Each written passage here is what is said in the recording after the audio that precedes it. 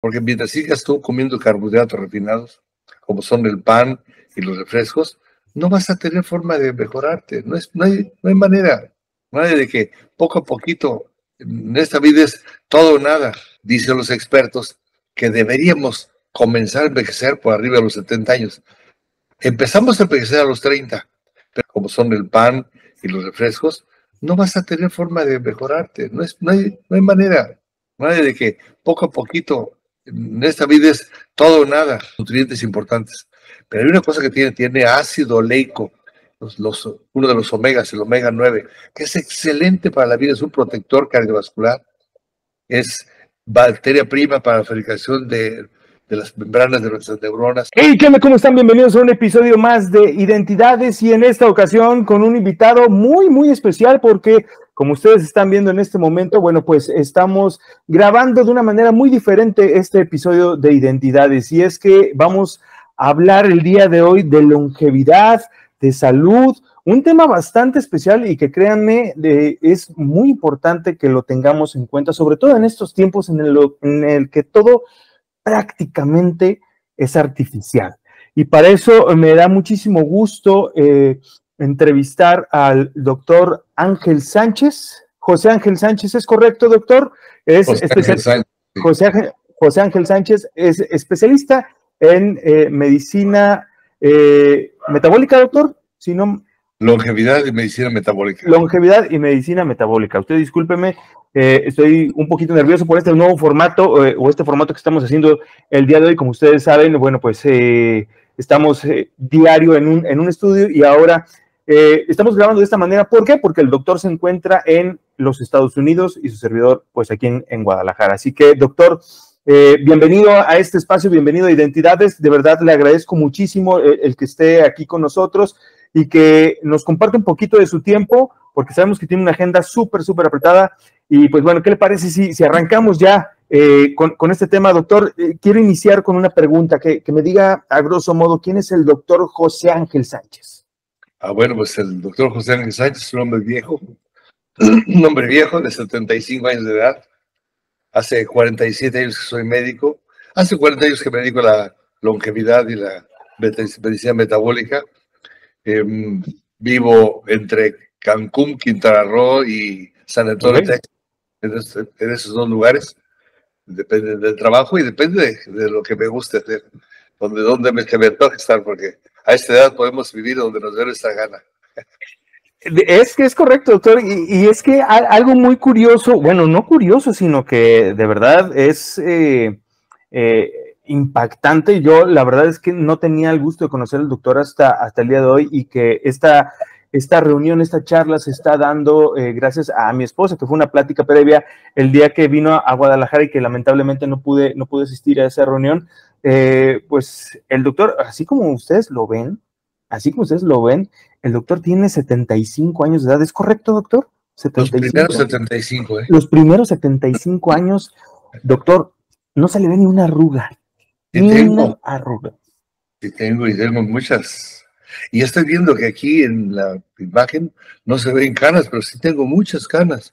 No, no, pero, si yo le platicara, yo tengo un, hermano más chico, mi hermano más chico tiene 38 años y, tiene el cabello totalmente blanco, blanco de canas.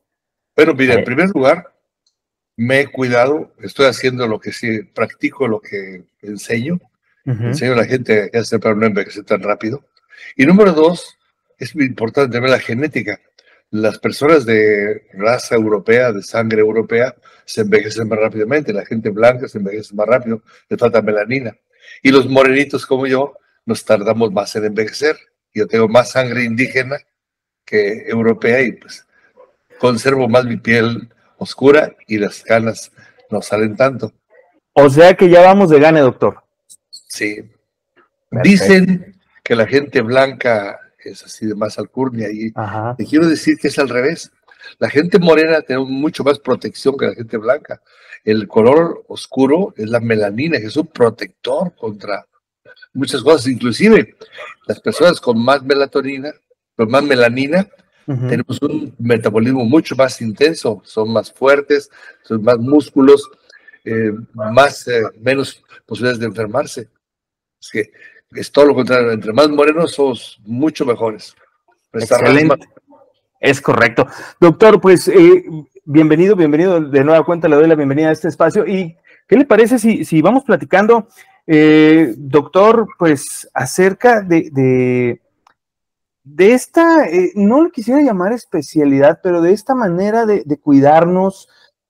usted ha estudiado por años, por décadas, la medicina metabólica y bueno, pues otras, otro tipo de especialidades para, para cuidarnos, cuidar nuestra salud de una manera muy natural, doctor. El objetivo de lo que dedico es enseñarle a los seres humanos que podríamos vivir perfectamente saludables por muchos más años de los que ordinariamente vivimos. Dicen los expertos que deberíamos comenzar a envejecer por arriba de los 70 años. Empezamos a envejecer a los 30, pero se nos debería notar los primeros siglos de envejecimiento por arriba de los 70. Sin embargo, en la mayor parte de la gente se le empieza a notar esto a, los 50. Eso significa que la gente está envejeciendo 20 años antes de lo que debía envejecerse. Y dicen los expertos que deberíamos morirnos entre los 120 y 122 años, cuando en México el promedio de sobrevida es 72 para los hombres, 76.8 para las mujeres. Estamos muriéndonos 35 años antes y envejeciéndonos 20 años antes. ¿Por qué? Por los hábitos de vida. La parte más importante, los hábitos de vida. Son una serie de hábitos que están perfectamente bien estudiados. Déjame decirte que hay cinco lugares en el mundo que llaman zonas azules. Son áreas del mundo donde la gente vive de una manera diferente y son famosos porque la gente vive más de 100 años sin enfermedades. Y hay todavía un lugar más que los, eh, los estudios no lo toman en cuenta por razones de tipo político. Está en Yugoslavia, en las zonas entre las montañas, un lugar que se llama Asbagia.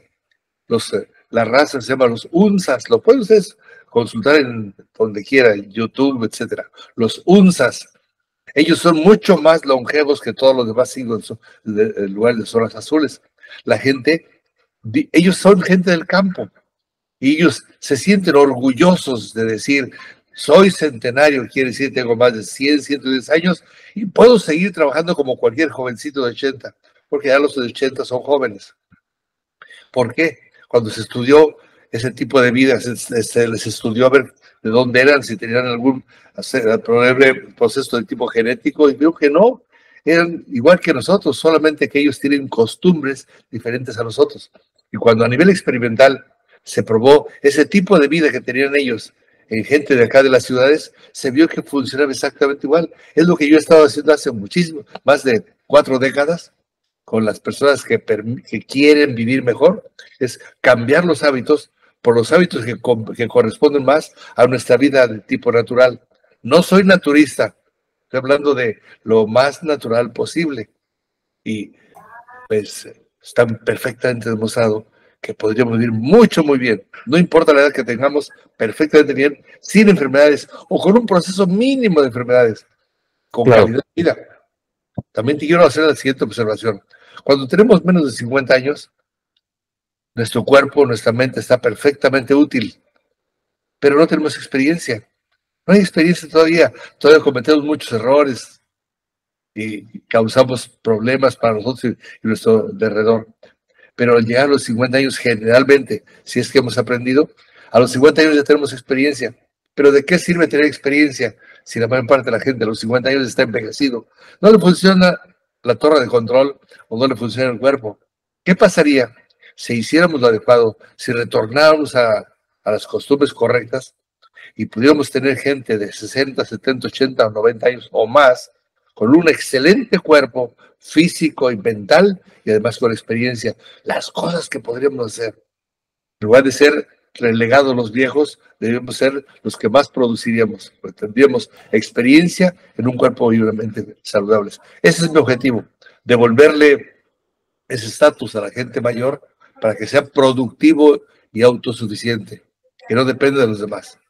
Es correcto, doctor, y, y como bien lo menciona, o sea, lamentablemente e, el, ser humano eh, tenemos una, eh, no sé si llamarlo visión o conocimiento erróneo de cómo cómo vivimos. O sea, somos jóvenes y nos creemos Superman.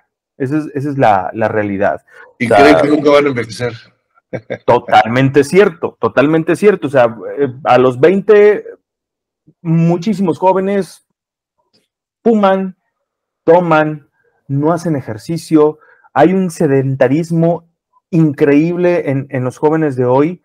Eh, llegan a los 30 como que empiezan a disminuirlo un poco, entre los 30 y 35 eh, pues nos casamos y le bajamos un poquito al ritmo de la tomada y de la fumada, pero ahora tenemos otro ciclo que es el del de proveedores de una familia, eh, el, de estar trabajando todo el día precisamente para llevar el pan de la casa. Entonces, nuestro cuerpo de una u otra manera va mermando. Es hasta cuando llegamos a los 40, y ahí sí, yo se lo digo a título personal, llegamos a los 40 y es cuando nos queremos preocupar ahora sí por, nuestra salud. Eh, eh, queremos meternos al gimnasio, queremos otra vez agarrar, perdón, el cuerpo que, que, que a lo mejor tuvimos en los 20 o que nunca tuvimos y es cuando apenas volteamos a vernos a nosotros mismos, mm, a ver nuestro reflejo y decir, ay, güey, la estoy regando. Obvio, obvio eh, doctor, quiero pensar que la edad eh, eh, idónea para, para comenzar con, los hábitos, pues es desde, desde chavitos, desde jóvenes. Pero estando en esta circunstancia, vaya, ya estamos entrando a la edad de la chaburruqués, 35, 40, y que ya nos volteamos a ver al espejo, ¿qué podemos hacer, doctor?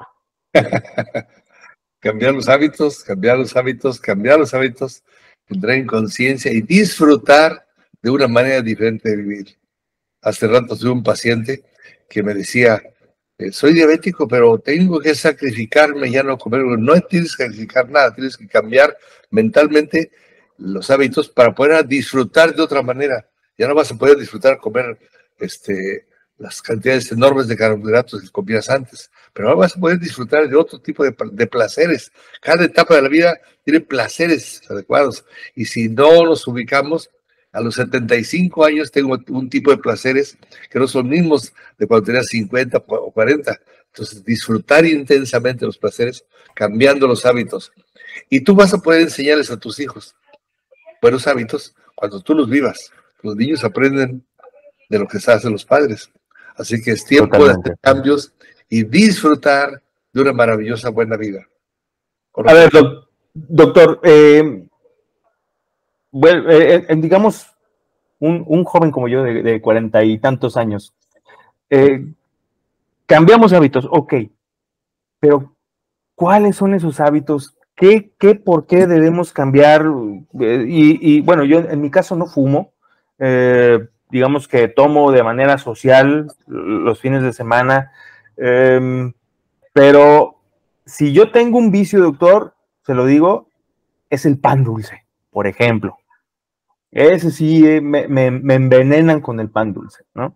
No soy una persona que, tome refrescos, pero ok, una persona que, todos los días tome, tome refrescos, eh, ¿qué, podemos o cuál sería la clave para que no sintieran tanto como que el sacrificio de, querer cambiar, pues como usted dice, e, e, esos hábitos? O ¿qué podemos hacer? ¿Cómo podemos iniciar eh, en estos cambios?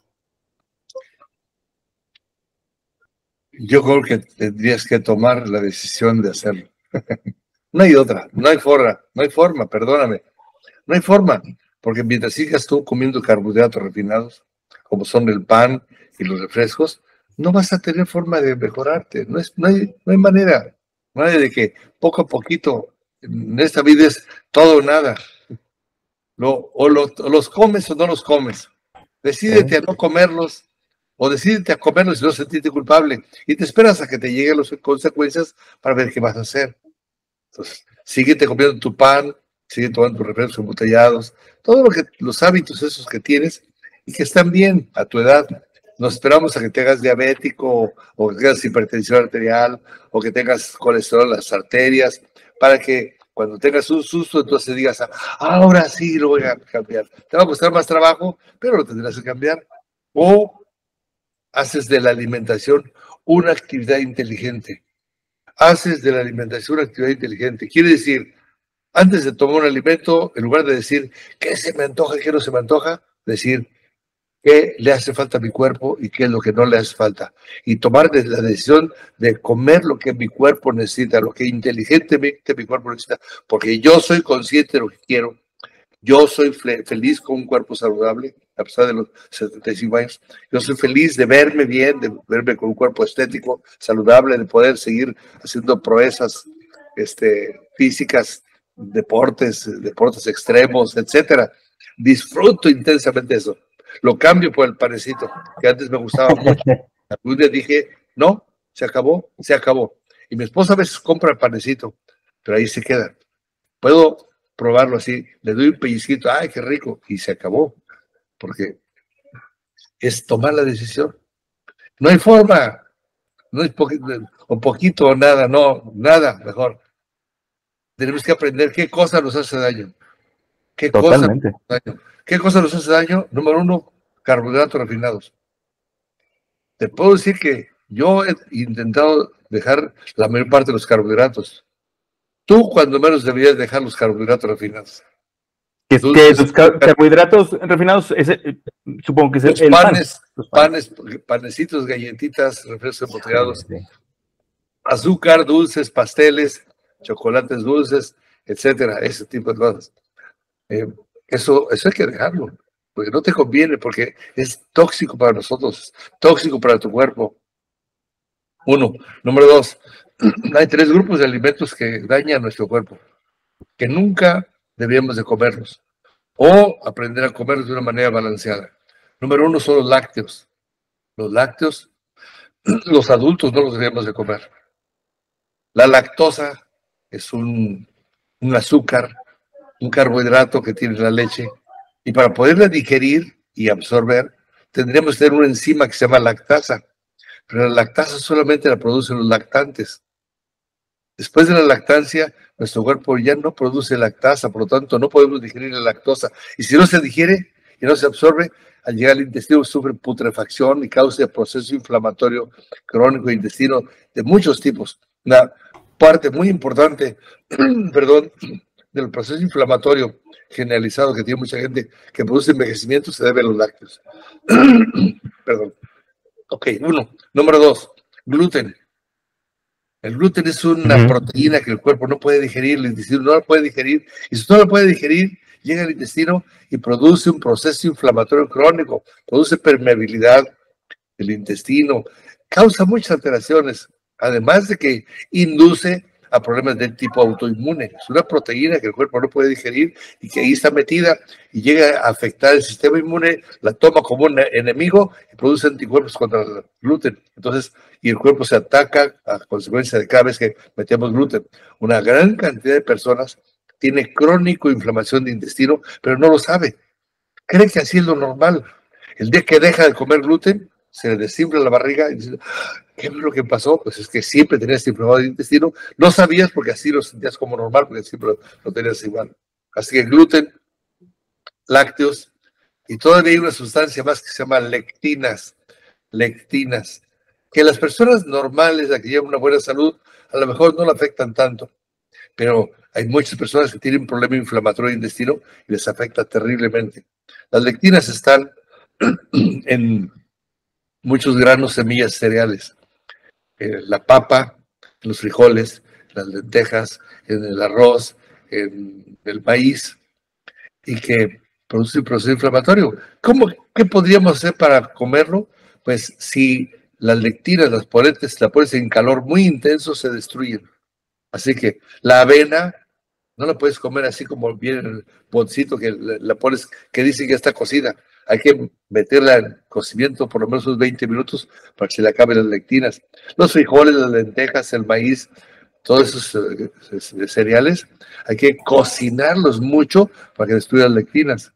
Además, lavarlos antes de cocinarlos, dejarlos remojar toda la noche para que se, acabe gran parte de eso y luego super cocinarlos. Y entonces sí, los podemos digerir. Así que carbohidratos refinados, gluten, lácteos y lectinas. Son las cuatro cosas que deberíamos dejar si quisiéramos ser saludables.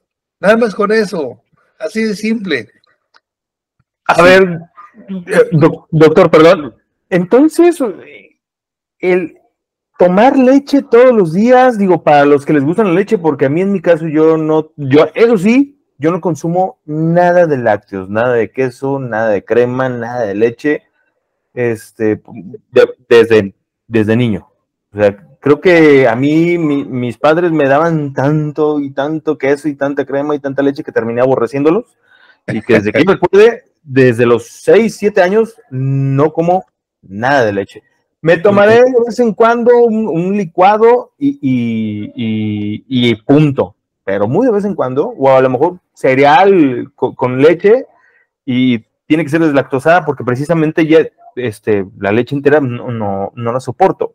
Pero, pero es decir que, que lo que nos venden en los supermercados, los lácteos, es totalmente innecesario para nuestro cuerpo, vaya. Nuestro cuerpo no lo necesita y sí causa problemas. Así que deberíamos aprender a brincarnos ese, ese alimento que no debía ser para nosotros. La, leche es para los lactantes. Leche, lactantes. Nada más. Nada más. Puedes comer de los lácteos solamente un tipo de lácteos que ya no tienen nada de lactosa, que son los quesos maduros. Los quesos viejos, quesos, esos quesos apestosos. Sí, claro es azul, entre más duro y más grasoso y más apestoso esté, es mejor. Ya no tiene nada de lactosa y al contrario, está cargado de lactobacilos para restablecer la flora intestinal. Ok, ok. Es único, todos los demás no.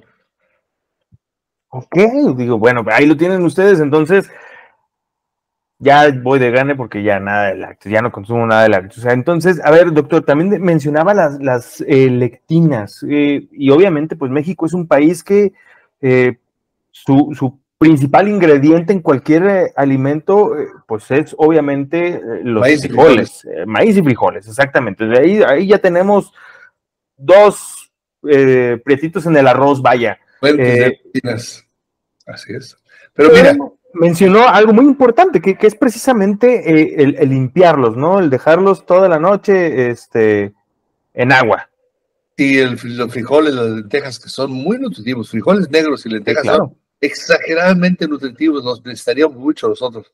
Pero o sea, que toda la noche remojando, en la mañana le estiras el agua, le vuelves a enjuagar, y después de 12 o 14 horas de estar remojándose y tirándose el agua, ahora sí se pueden hervir.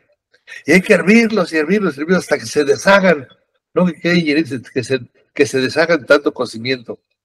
Y lo que nosotros hacemos en la casa es, ya que están cocidos, bien cocidos, deshaciéndose, todavía aún así los metemos a la licuadora, los licuamos y los volvemos a meter en, en la sartén con un poquito de aceite de olivo y orégano para seguirlos cocinando hasta que sea una pastita deliciosa, una pasta deliciosa Imagínate una tostadita de maíz doradita con una pasta de oh, frijoles y quesito desmenuzado, este, eh, de, ese apestosito, ¡ay! una salsita rica. Imagínate lo nutritivo, lo delicioso, y no te va a hacer daño, porque están destruidos. Ok, o sea, y, esos, y esos son los pequeños cambios que podemos iniciar y que, que viéndolo de esta manera, pues no nos costarían tanto, doctor. Así es, no nos costaría tanto. Y luego la siguiente cosa que, es, un, es un error también. La gente piensa que la fruta es muy buena y efectivamente es muy buena.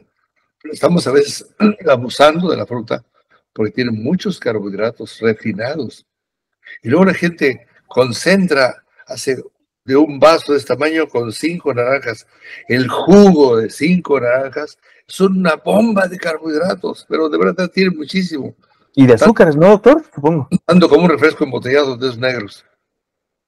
O sea, a ese nivel. No deberíamos de comer jugos concentrados de frutas. Una frutita, una o dos veces al día, una pequeña fruta, una naranja en la mañana, una perita media tarde, unas uvas en la noche, este, una fresa, sería muy bueno, pero poquito, varias veces al día, porque la fruta es el principal eh, aporte de vitamina C. necesitamos suficiente cantidad de vitamina C y existe buena cantidad en la fruta. La fruta que no está troceada, ¿verdad? Pero la vitamina C se elimina de la sangre en 4 o 5 horas. Es que si tomaste una frutita en la mañana, para el mediodía se te acabó la vitamina C circulante. Hay que meter otra frutita, pero en pequeña cantidad. Y la noche otra frutita. Con eso será suficiente, no necesitamos más. Hay algunas frutas que son excelentísimas para la vida, como es el aguacate. Ok. No come tanto aguacate, a mucha gente no le gusta. Y no saben ustedes la enorme cantidad de nutrientes que tiene el aguacate. Te puedo decir que lo ideal sería que todos los días comiéramos aguacate.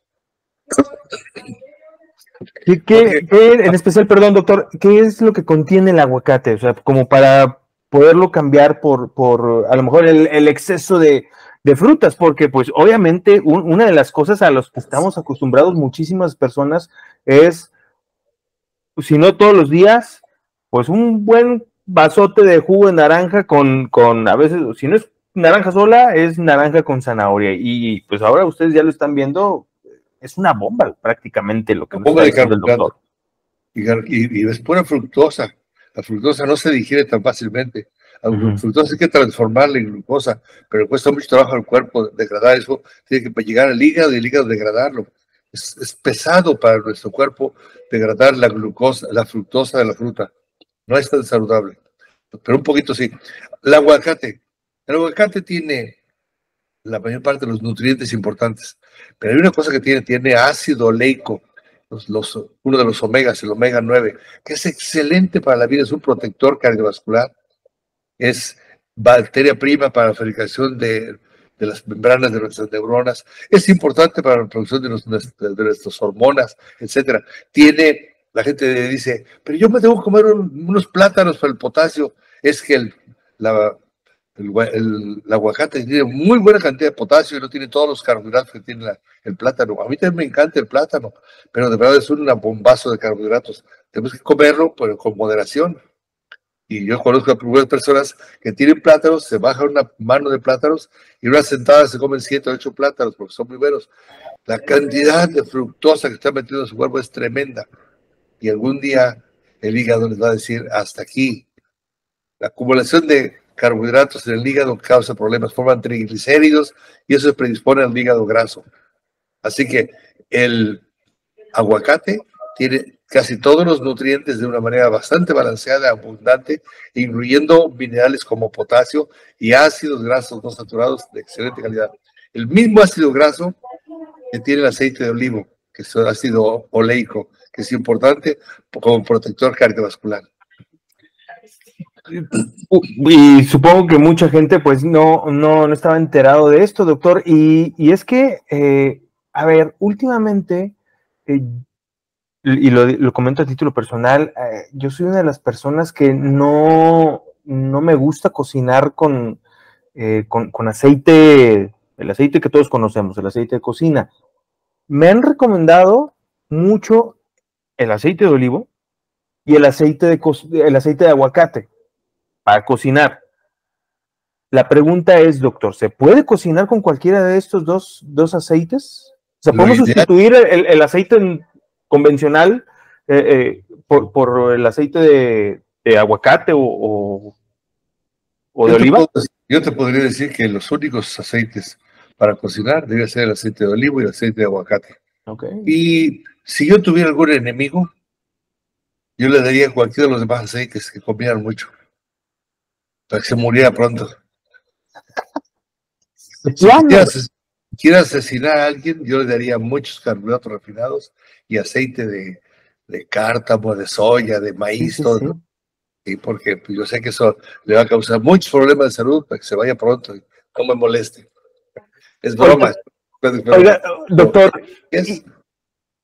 Perdón, y otra, otra cosa de, que se ha hablado mucho últimamente, que yo, yo lo he visto mucho en, redes sociales, es el cocinar con la manteca natural, con la manteca de cerdo. Esto inclusive eh, lo comentan que es mucho mejor que el, que el aceite convencional, el aceite de, de cárgamo, el aceite este, pues natural ¿Es cierto esto? O sea, ¿podemos utilizar la manteca natural, la manteca de cerdo?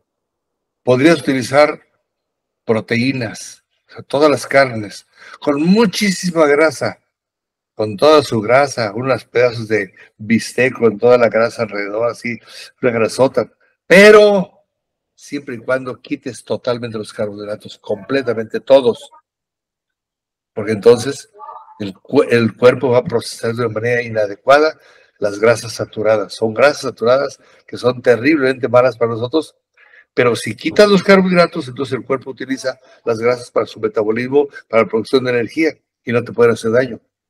Por ejemplo, doctor, un chicharroncito, un chicharrón de ese natural, de cerdo, que se ponga directo de la... Y, y puedes cocinar con tus huevos con manteca de cerdo, puedes comerte un bistezote de, de, res con todo y su grasa, así delicioso a la plancha, a la parrilla, lleno de grasa. Pero tienes que quitar desde tres días antes completamente todos los carbohidratos, todos, todos, todos. ¿Qué quiere decir?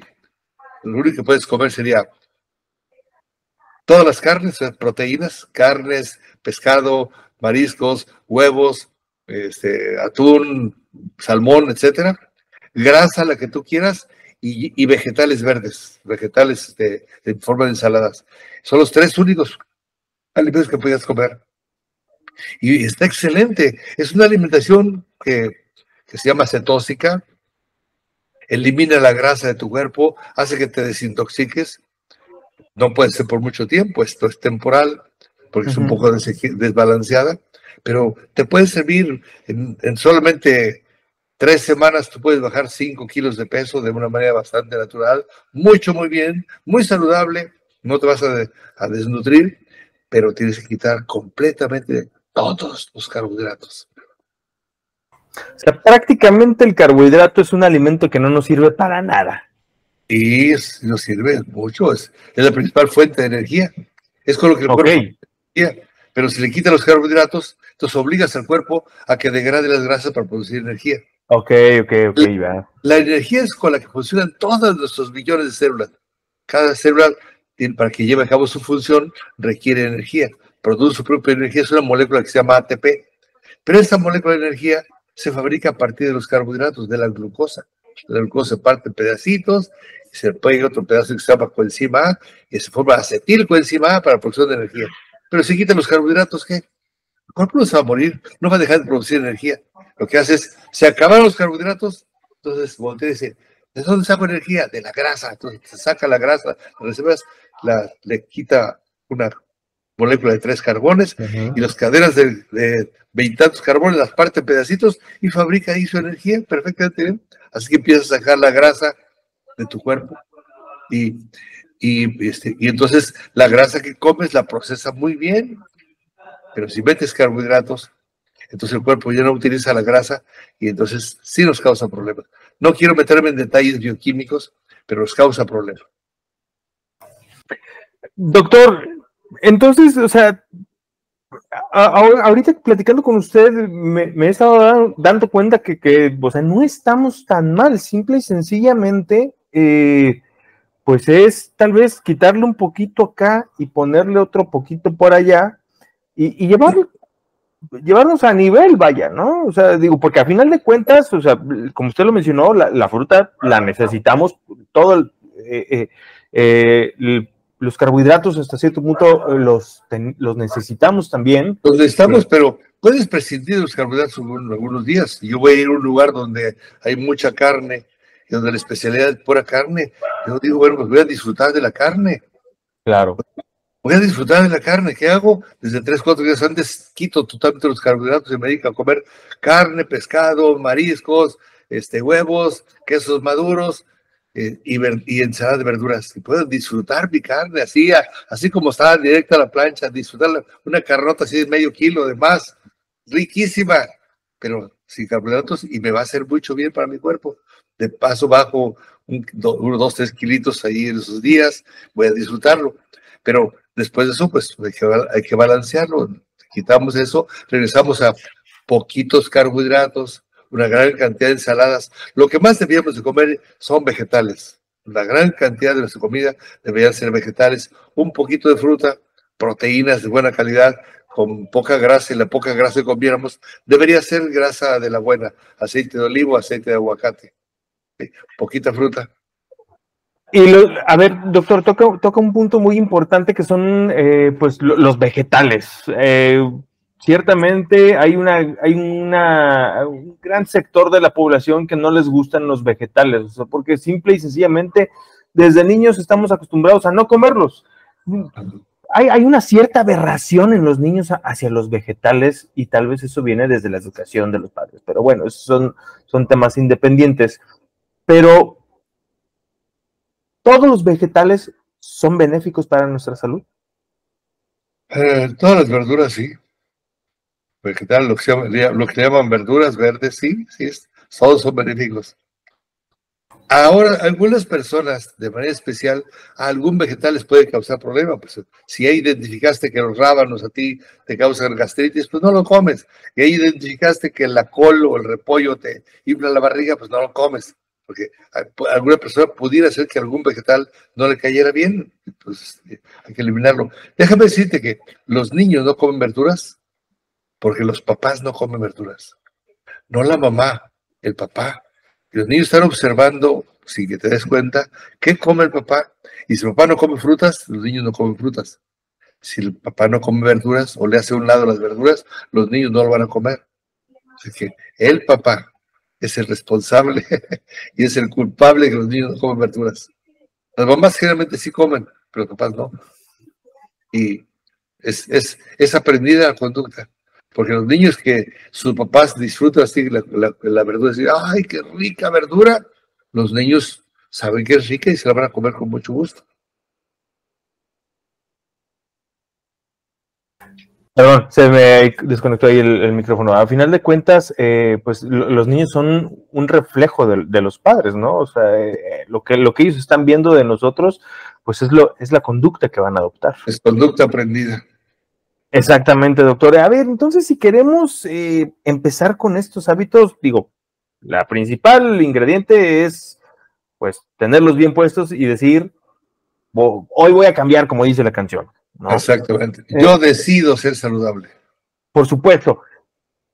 Pero una persona que está acostumbrada a, a desayunarse diario dos huevitos con una tostada y un chocomilote de este pelo, ahí cómo le podemos hacer, doctor? O sea, ¿cuál es el, cambio que, debemos, eh, y su vasote de jugo, eh, empezar, empezar a adoptar?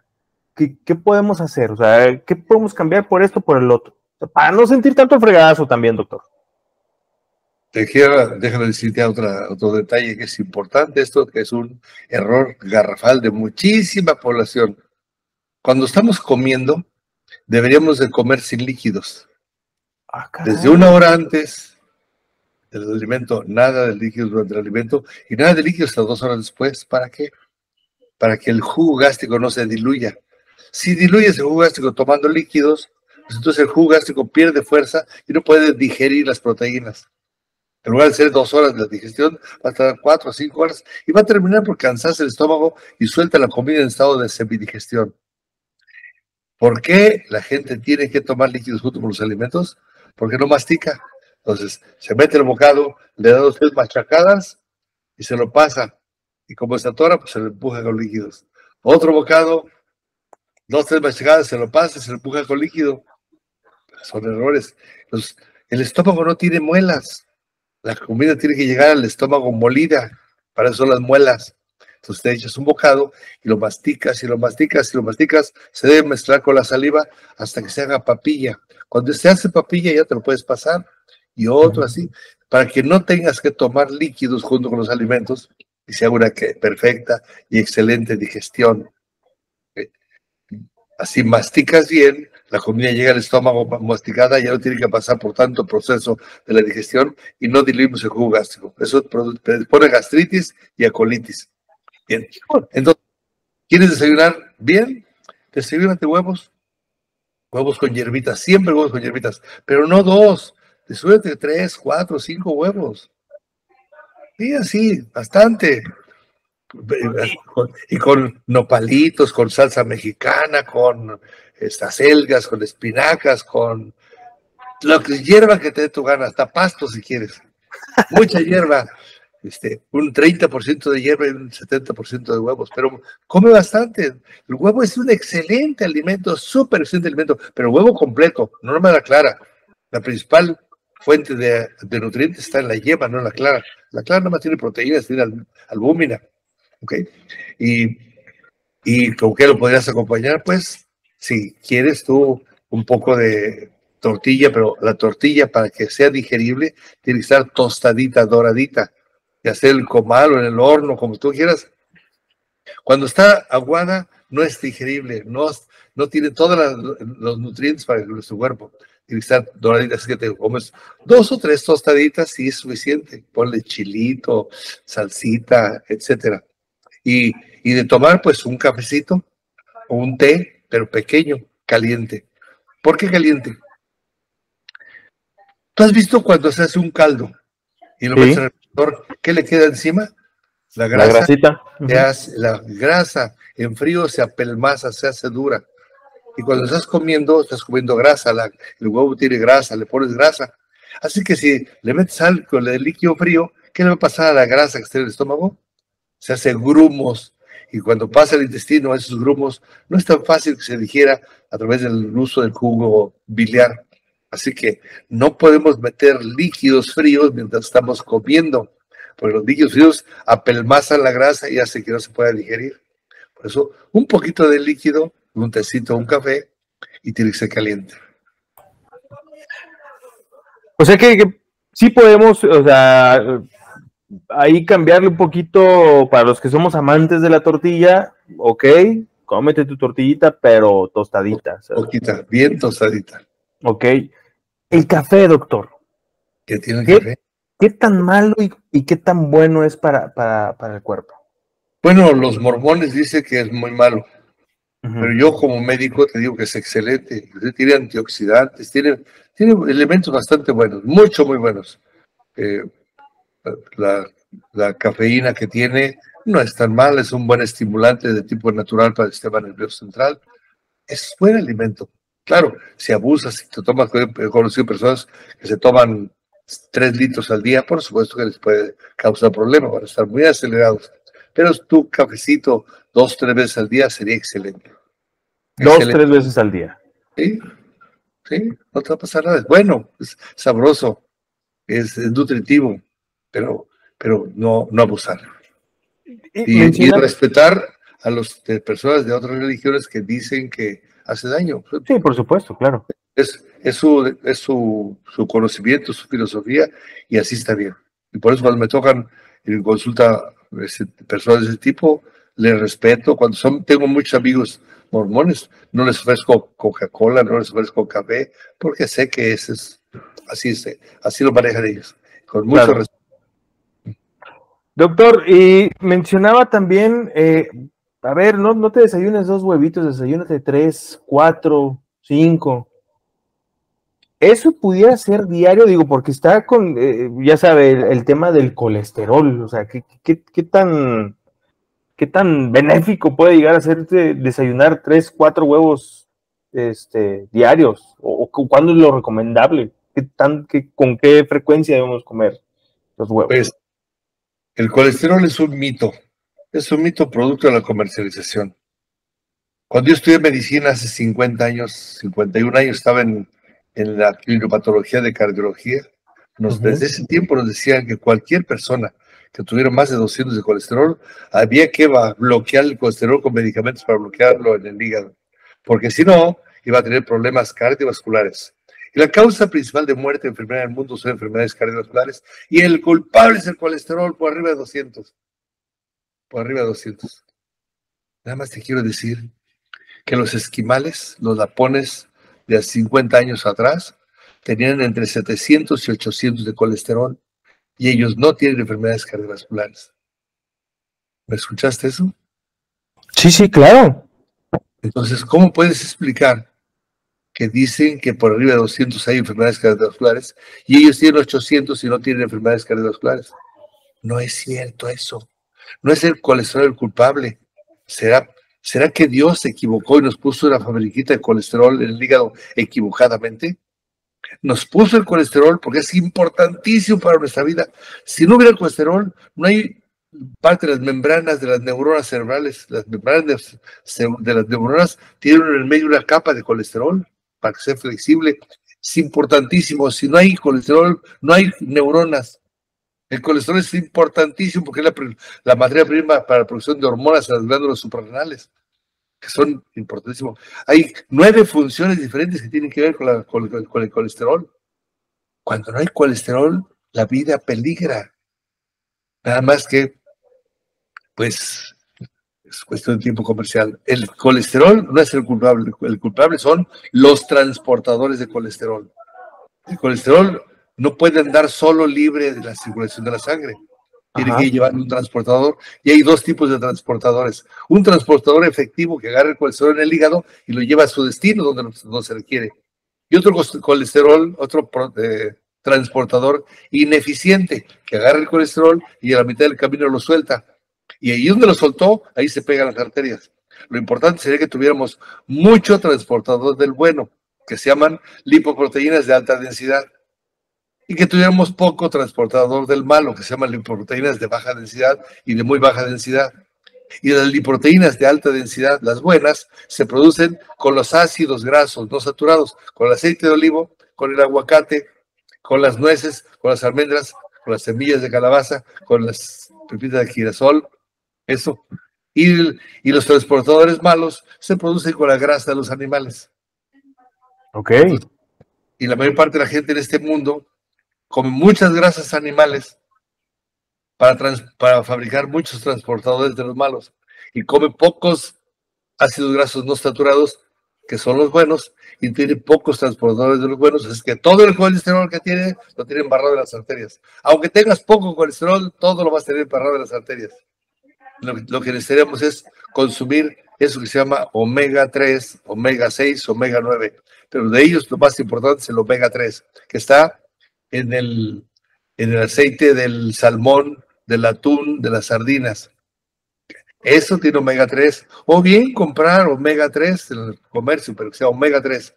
El omega 3, el omega 6 tiene cierto grado de proceso inflamatorio. También es necesario, en menor cantidad.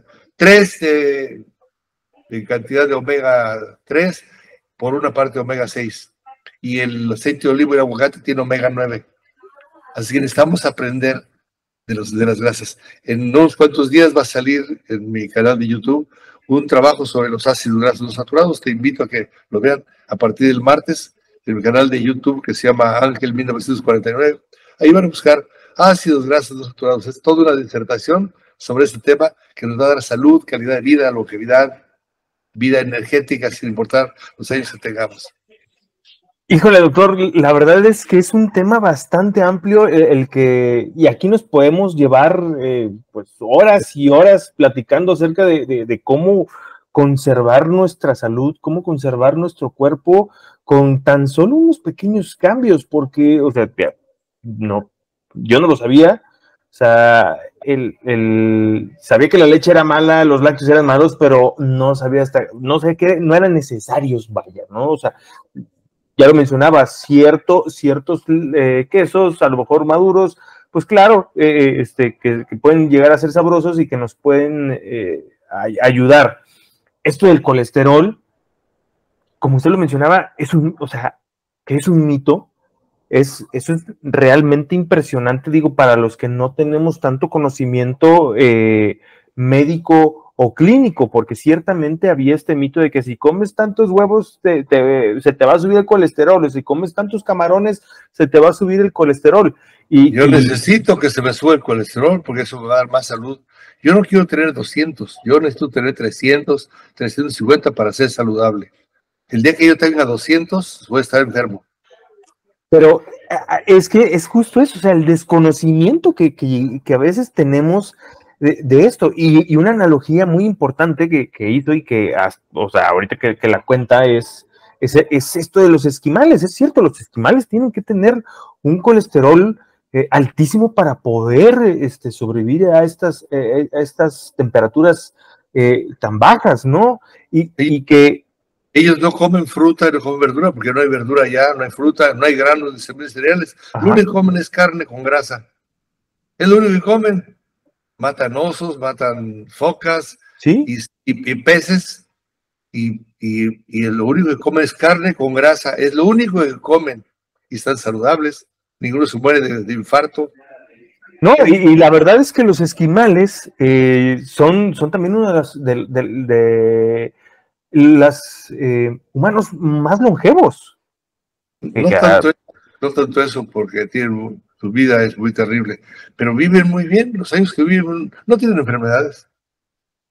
Los ah. esquimales, a partir de la invasión de los países civilizados, por entre comillas, a Laponia y Alaska, ya hoy tienen costumbres como nosotros, hoy ya tienen las enfermedades que tenemos nosotros. Claro. Ya, ya se dejaron sus costumbres de comer comida con carne y con grasa, empezaron a tomar refrescos embotellados, salchichas, eh, este, hamburguesas de esas que tienen una M, y, y ahora pues ya están enfermos igual que, que, todos, igual que todos los norteamericanos, que tienen muchas enfermedades de tipo degenerativo por el tipo de alimentación que tienen, desgraciadamente. Híjole, doctor, eh, se nos está terminando el tiempo, pero, pero me gustaría que, esta no fuera la última, la última charla ni la última, eh, la única parte eh, de, este, de este tema tan interesante. y me gustaría, pues, que, tuviéramos una segunda parte, una segunda charla, pero una de las partes más importantes, doctor, ¿cómo, cómo podemos encontrarlo? ¿Cómo podemos saber un poquito más de, de este tema? Que pues, ah, para mí resulta realmente eh, impresionante y, e interesante. ¿Cómo lo podemos encontrar en sus redes eh, sociales, doctor? Hay un canal de YouTube que se llama Ángel 1949. Tiene pocos videos, tiene poco material, pero ya estoy en proceso de elaborar más. Ya, ya pude conseguir a alguien que me ayudara a grabar los videos y, y, y, este, y editarlos y ya se va a empezar a alimentar, pero ahí hay suficiente información. Con los 10, 12 videos que hay ahí, está toda, mucha información que le puede ayudar a las personas a aprender a vivir mejor. Y pues me gustaría que en otro momento pudiéramos hablar del tema más importante, más que la alimentación, que tiene que ver con la salud. Es el manejo de nuestras emociones. Porque de eso depende más la salud que de la alimentación. Me parece perfecto, doctor. Eh, ¿Le parece si de una vez aquí lo hacemos eh, público y para que la gente se, se, se, quede intrigada en este, en este tema? Eh, ¿Le parece bien? Bueno, si quieres ya lo platicamos fuera, fuera, fuera del aire y lo invito para platicar precisamente sobre este tema, sobre las emociones, que, una cosa, doctor, pues lleva a la otra, ¿no? Si no estamos bien física, mentalmente, pues nuestro cuerpo va a ser un desbarajuste. Entonces tenemos que tener un equilibrio, doctor. Así es, con todo gusto. Pues, pues, tú sabes que puedes contar conmigo. Todo aquello que tenga que ver con difundir mecanismos de salud para la población, ahí voy a estar. Mi trabajo está decidido a, dedicado a ayudar a la humanidad, en la reeducación de la humanidad, porque yo quisiera que mis nuevas generaciones, mis nietos y bisnietos, vivieran un mundo mejor. Y ese mundo mejor va a ser que nosotros fabricamos no con palabras, con el ejemplo. Así que hay que difundirlo por cualquier medio. Es correcto, doctor, y hay que aprovechar sobre todo estas herramientas tan importantes que son las redes sociales, que están prácticamente al alcance de todos. Ya no hay pretexto. Todos tenemos eh, alcance a las redes sociales y desde cualquier parte del mundo, ustedes lo están viendo, su servidor en México, el doctor eh, en Estados Unidos, pues eh, ya hay esta interacción y ya hay pretexto, o sea, podemos, podemos informarnos de una buena manera a través de las redes con un buen uso, por supuesto. Muy bien, pues adelante. Te felicito por tu programa, te felicito por todo lo que haces. Ya he estado viendo tus videos. Mucho, muy Gracias, interesante. Gracias por dedicar una parte de tu vida a ayudar, ayudar a la gente con información. Te felicito. Muchísimas gracias, doctor. Y pues eh, sus redes sociales, además de su canal de YouTube, eh, doctor. Este, pues podemos también mencionar en, Facebook una, un canal que se llama Ángel Sánchez.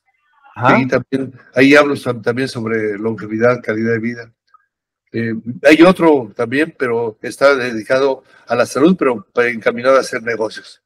Perfecto. bueno, pues también los negocios valen. Los negocios, pero encaminados a la salud. Perfecto, doctor. Bueno, pues le agradezco muchísimo el que haya estado aquí con nosotros en este episodio de Identidades, Identidades eh, en su formato a distancia. Y bueno, pues les recuerdo seguirme en nuestras redes sociales como arroba Booms, las dos con K, prácticamente en todas, excepto Facebook. Ahí me pueden encontrar como Enrique Bustos. Vayan al canal, suscríbanse, denle un like. Eso es muy importante para poder seguir creciendo en este canal. Sin embargo, yo los veo en la próxima. Nos vemos. Bye.